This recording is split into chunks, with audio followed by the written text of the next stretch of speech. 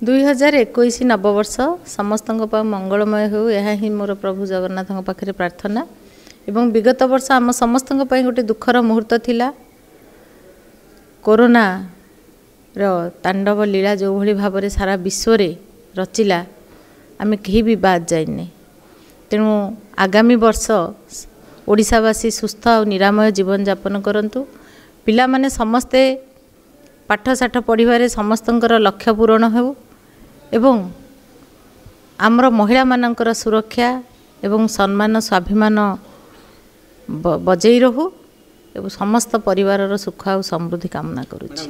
ମୁଁ ତ ଗୋଟେ ରେଜୁଲେସନ୍ କରିବି ଯେ ସବୁଦିନ ପ୍ରତ୍ୟେକ ଦିନ ସମଗ୍ର ଜୀବଜଗତର କଲ୍ୟାଣ ଆପଣ କହିବେ ସମଗ୍ର ଜୀବଜଗତ କଥା କେମିତି ଜଣେ କଂଗ୍ରେସର ମାନେ ରାଜନୈତିକ ଦଳର ବ୍ୟକ୍ତି କହୁଛନ୍ତି। ଏଇଥିପାଇଁ କହିବୁ ଯେ ଆମେ ଜୈବ ବିବିଧତା ବିବିଧତାକୁ ପୁରା ଭୁଲି ଯାଇଛେ। ତେଣୁ ଜୈବ ବିବିଧତା କହିଲେ ଆମର ମଣିଷ ସମାଜକୁ ମାନବ ସମାଜକୁ ଛାଡ଼ିକି ମାନବ ଜାତିକୁ ଛାଡ଼ିକି ପଶୁ ପକ୍ଷୀ ସମସ୍ତଙ୍କୁ ଆମେ ସମସ୍ତେ ମୁଁ ନିବେଦନ କରିବି ଆପଣମାନଙ୍କ ମାଧ୍ୟମରେ ପଶୁ ପକ୍ଷୀଙ୍କଠୁ ଆରମ୍ଭ କରିକି ମଣିଷ ପର୍ଯ୍ୟନ୍ତ ଯେତିକି ହେଇପାରିବ ଆମ ଦ୍ୱାରା ଯତ୍ସମ୍ଭବ ସମସ୍ତଙ୍କୁ କେମିତି ଖାଇବାକୁ ଦେବା ଏବଂ ତାଙ୍କୁ ପାଣି ଦେବା ସେମାନେ କେମିତି ବଞ୍ଚିବେ? ତାଙ୍କ ପାଇଁ ମଧ୍ୟ ଆମର କିଛି ରହିଛି ଆମର କିଛି ଦାୟିତ୍ୱବୋଧତା ରହିଛି। ସେଥିପାଇଁ ଆମେ ମଣିଷ ଜନ୍ମ ପାଇଛେ। ତେଣୁ ମୋର ପ୍ରଥମ ରେଜୁଲେସନ୍ ହେବ ନୂଆ ବର୍ଷରେ ଯେ ସମସ୍ତଙ୍କ ପାଇଁ କିଛି କରିବାର ମନରେ ଇଚ୍ଛା ରଖିବି। ଧନ୍ୟବାଦ।